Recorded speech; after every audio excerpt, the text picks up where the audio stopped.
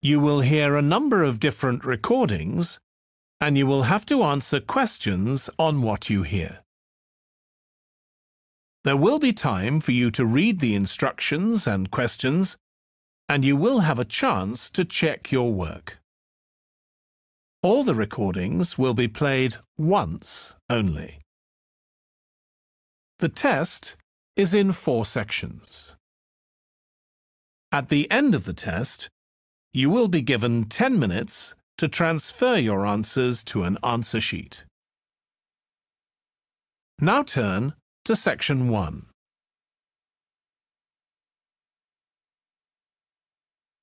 Section 1 You will hear a man inquiring in a tourist's centre about activities suitable for families.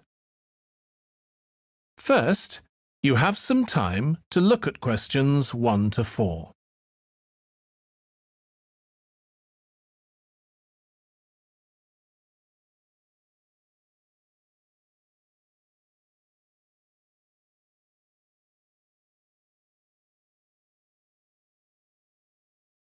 Now we shall begin. You should answer the questions as you listen because you will not hear the recording a second time. Listen carefully and answer questions 1 to 4. Hi, can I help you? I'd like to find out if you have any excursions suitable for families. Sure. How about taking your family for a cruise? We have a steamship that takes passengers out several times a day. It's over a hundred years old. That sounds interesting. How long is the trip? About an hour and a half. And don't forget to take pictures of the mountains. They're all around you when you're on the boat and they look fantastic. Okay. And I assume there's a cafe or something on board? Sure. How old are your children? Uh, my daughter's 15 and my son's 7. Right. Well, there are various things you can do once you've crossed the lake to make a day of it. One thing that's very popular is a visit to the country farm. You're met off the boat by the farmer and he'll take you to the holding pens where the sheep are kept. Children love feeding them. my son would love that. He really likes animals. Well, there's also a 40 minute trek round the farm on a horse if he wants. Do you think he'd manage it? He hasn't done that before. Sure, it's suitable for complete beginners. Ah, good. And again, visitors are welcome to explore the farm on their own, as long as they take care to close gates and so on. There are some very beautiful gardens along the side of the lake which also belong to the farm. They'll be just at their best now. You could easily spend an hour or two there. Okay, well, that all sounds good. And can we get lunch there? You can, and it's very good, though it's not included in the basic cost. You pay when you get there. Right. Before you hear the rest of the conversation, you have some time to look at questions 5 to 10.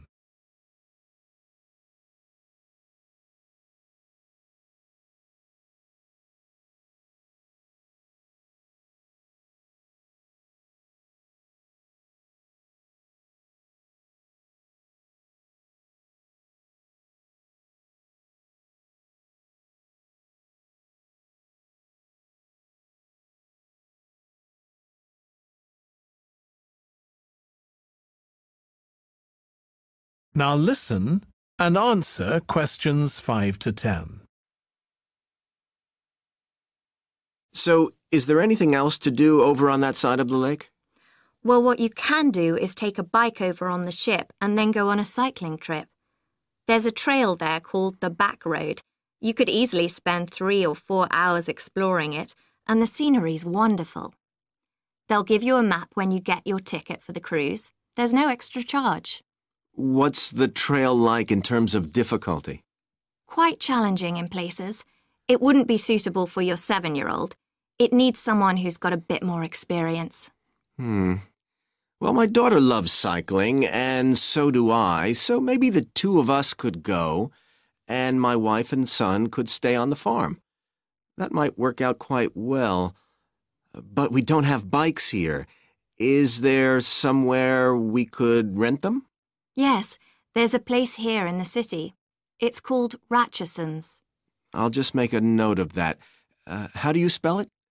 R A T C H E S O N S. It's just by the cruise ship terminal. Okay. You'd also need to pick up a repair kit for the bike from there to take along with you, and you'd need to take along a snack and some water. It'd be best to get those in the city. Fine. That shouldn't be a problem. And I assume I can rent a helmet from the bike place. Sure, you should definitely get that. It's a great ride, but you want to be well prepared because it's very remote. You won't see any shops round there or anywhere to stay, so you need to get back in time for the last boat. Yeah. So, what sort of prices are we looking at here? Let's see. That'd be one adult and one child for the cruise with farm tour. That's $117, and an adult and a child for the cruise only, so that's $214 altogether. Oh, wait a minute. How old did you say your daughter was? 15. Then I'm afraid it's $267 because she has to pay the adult fare, which is $75, instead of the child fare, which is $22. Sorry about that. That's okay. Uh, so, how do we find out? That is the end of section one. You now have half a minute to check your answers.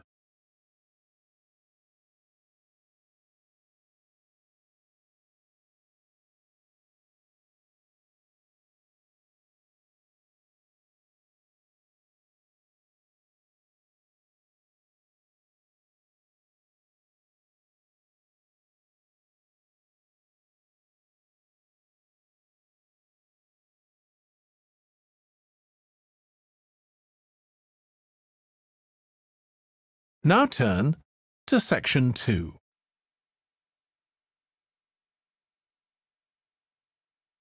Section 2. You will hear a restaurant manager talking to a small group of new staff who are starting work as kitchen assistants in a restaurant. First, you have some time to look at questions 11 to 16.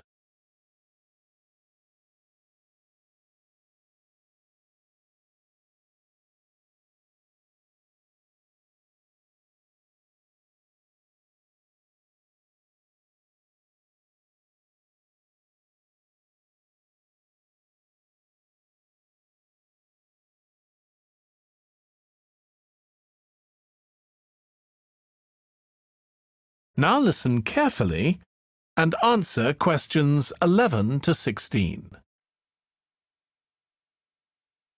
Good morning, everyone. My name's Joy Parkins, and I'm the restaurant manager.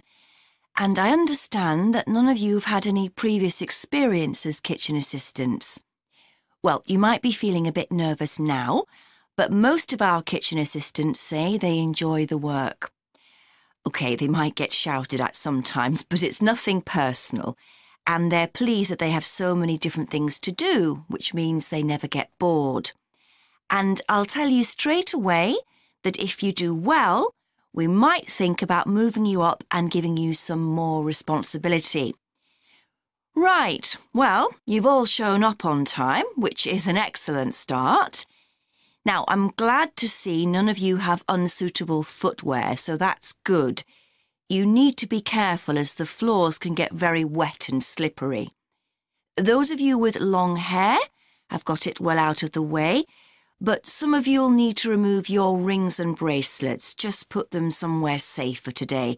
And remember to leave them at home tomorrow, as they can be a safety hazard. Now, it's going to be a busy day for you all today. We don't have any tables free for this evening and only a few for lunch. Fortunately, we've got our head chef back. He was away on holiday all last week, which meant the other chefs had extra work. Now, I'll tell you a bit more about the job in a minute, but first, some general regulations.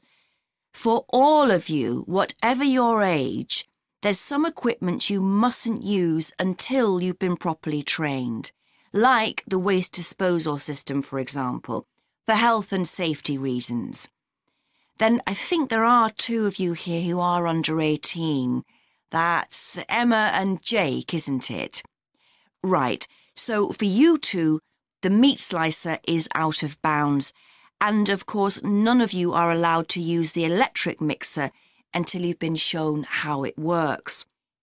Now, you may have heard that this can be a stressful job, and I have to say that can be true. You'll be working an eight hour day for the first week, though you'll have the chance to do overtime after that as well if you want to. But however long the hours are, you'll get a break in the middle. What you will find is that you're on your feet all day long, lifting and carrying. So, if you're not fit now, you soon will be. You'll find you don't have much chance to take it easy. When someone tells you to do something, you need to do it straight away. But at least we do have a very efficient air conditioning system compared with some kitchens. Before you hear the rest of the talk, you have some time to look at questions 17 to 20.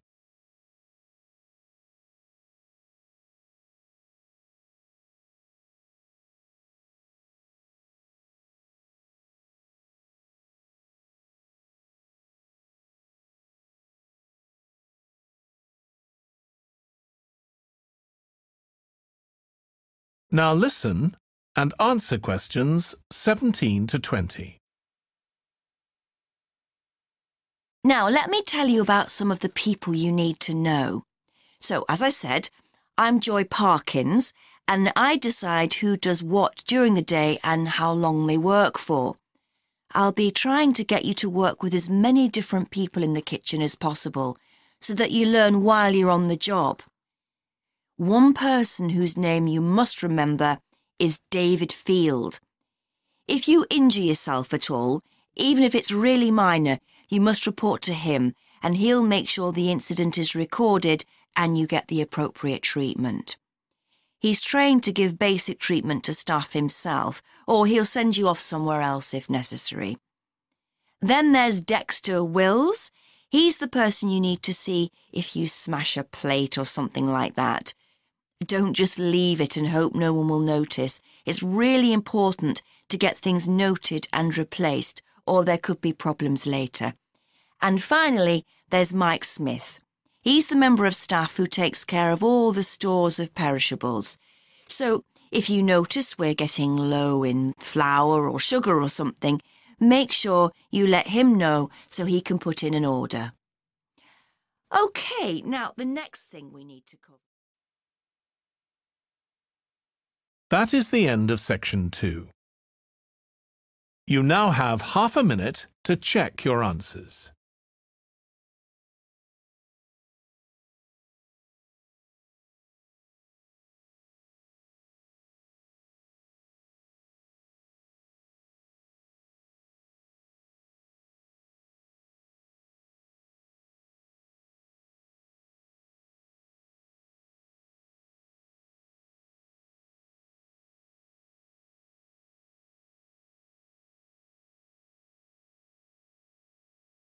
Now turn to section 3.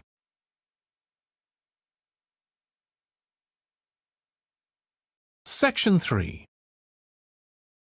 You will hear two students called Trudy and Stuart, who are both studying to be librarians, discussing a paper that they are going to write together. First, you have some time to look at questions 21 to 23.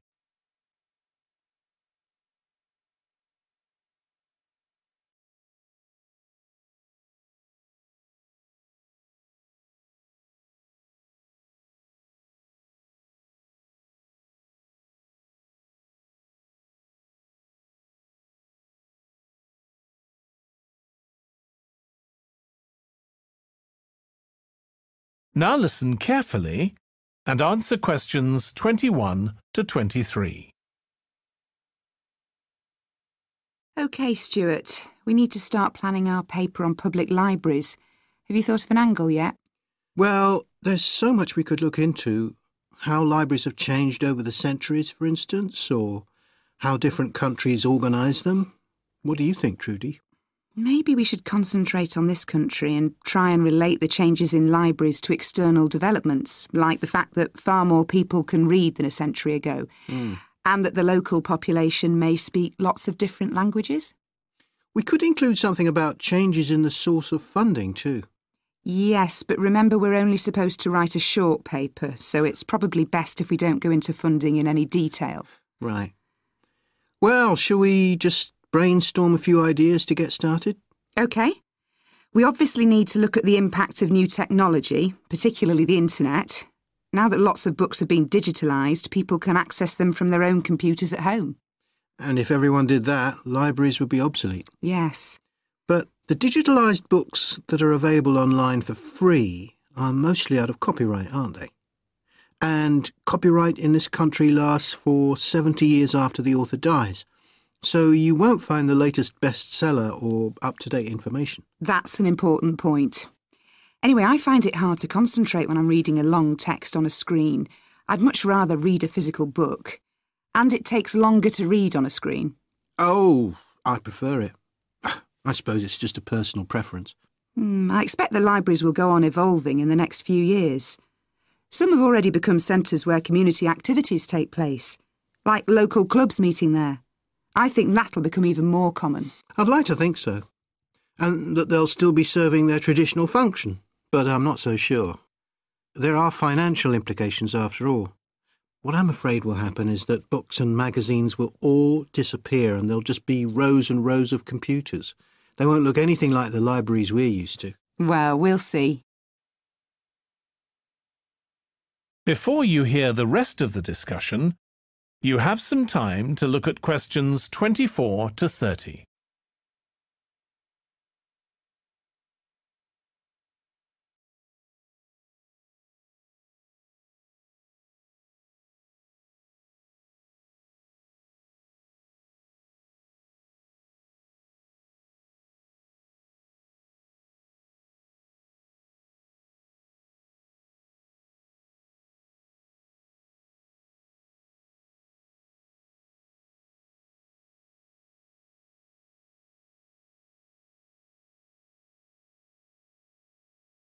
Now listen and answer questions 24 to 30.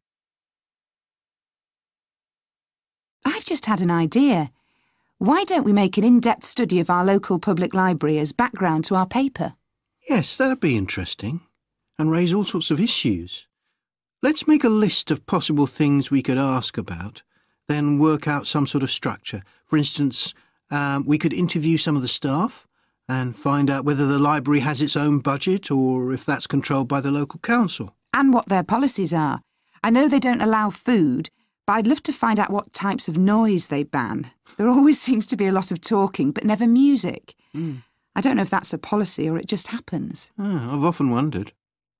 Then there are things like how the library is affected by employment laws. I suppose there are rules about working hours, facilities for staff, and so on. Right. Then there are other issues relating to the design of the building and how customers use it. Like, what measures does the library take to ensure their safety? They'd need floor coverings that aren't slippery, and emergency exits, for instance. Hmm. Oh, and another thing. There's the question of the kind of insurance the library needs to have in case anyone gets injured. Yes, that's something else to find out. You know something I've often wondered? What's that? Well, you know they've got an archive of local newspapers going back years. Well, next to it, they've got the diary of a well known politician from the late 19th century. I wonder why it's there. Do you know what his connection was with this area? No idea. Let's add it to our list of things to find out. Oh, I've just thought. You know, people might ask in the library about local organisations like sports clubs. Hmm. Well, I wonder if they keep a database or whether they just look online. Right.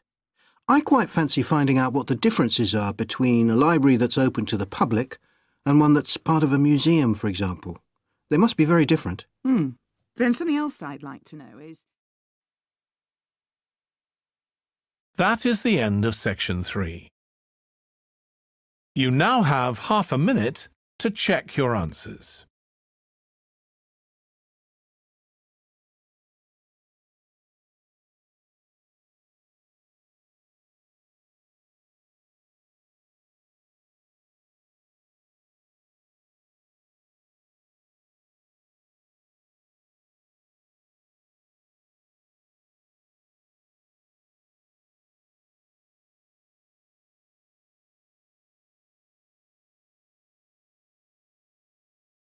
Now turn to section 4.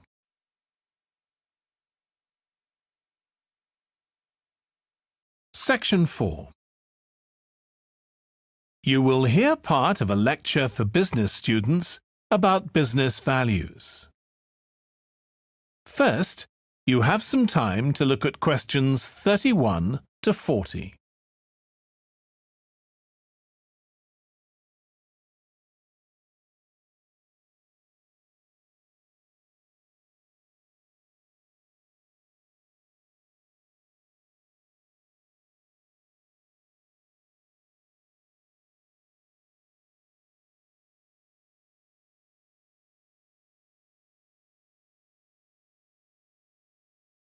Now listen carefully and answer questions 31 to 40.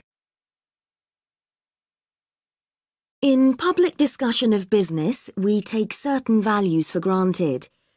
Today, I'm going to talk about four of them collaboration, hard work, creativity, and excellence. Uh, Most people would say they're all good things. I'm going to suggest that's an oversimple view. The trouble with these values is that they're theoretical concepts, removed from the reality of day-to-day business. Uh, Pursue values by all means, but be prepared for what may happen as a result. They can actually cause damage, which is not at all the intention.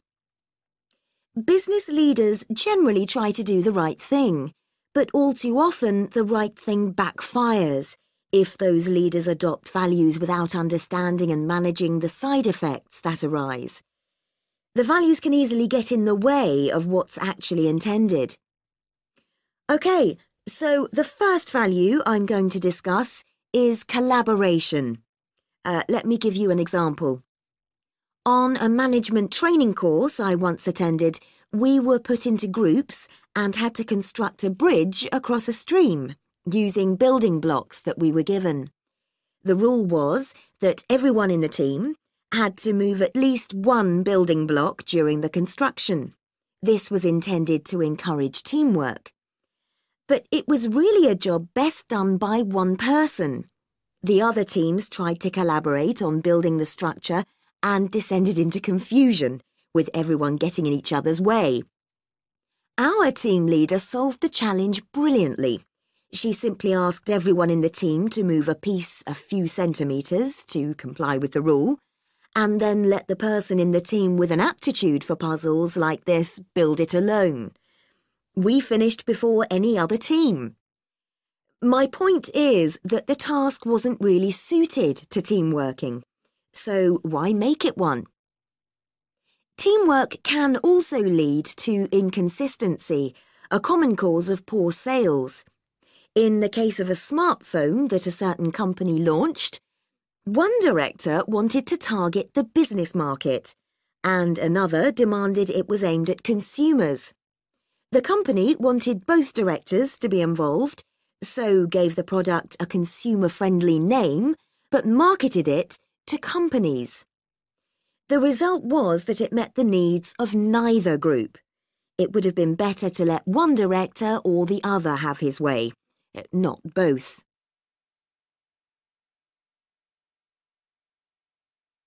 Now, industriousness, or hard work. It's easy to mock people who say they work hard. After all, a hamster running around in a wheel is working hard and getting nowhere. Of course, hard work is valuable, but only when properly targeted. Otherwise, it wastes the resources that companies value most time and energy, and that's bad for the organisation. There's a management model that groups people according to four criteria clever, hard-working, stupid, and lazy. Here, lazy means having a rational determination not to carry out unnecessary tasks. It doesn't mean trying to avoid work altogether. Most people display two of these characteristics, and the most valuable people are those who are both clever and lazy. They possess intellectual clarity and they don't rush into making decisions. They come up with solutions to save the time and energy spent by the stupid and hard-working group. Instead of throwing more man-hours at a problem, the clever and lazy group looks for a more effective solution. Next, we come to creativity. This often works well. Creating an attention-grabbing TV commercial, for example, might lead to increased sales. But it isn't always a good thing. Some advertising campaigns are remembered for their creativity without having any effect on sales. This happened a few years ago with the launch of a chocolate bar. Subsequent research showed that plenty of consumers remembered the adverts, but had no idea what was being advertised. The trouble is that the creator derives pleasure from coming up with the idea and wrongly assumes the audience for the campaign will share that feeling. A company that brings out thousands of new products may seem more creative than a company that only has a few, but it may be too creative and make smaller profits. Creativity needs to be targeted to solve a problem that the company has identified. Just coming up with more and more novel products isn't necessarily a good thing. And finally, excellence. We all know companies that claim they strive for excellence, but it takes a long time to achieve excellence.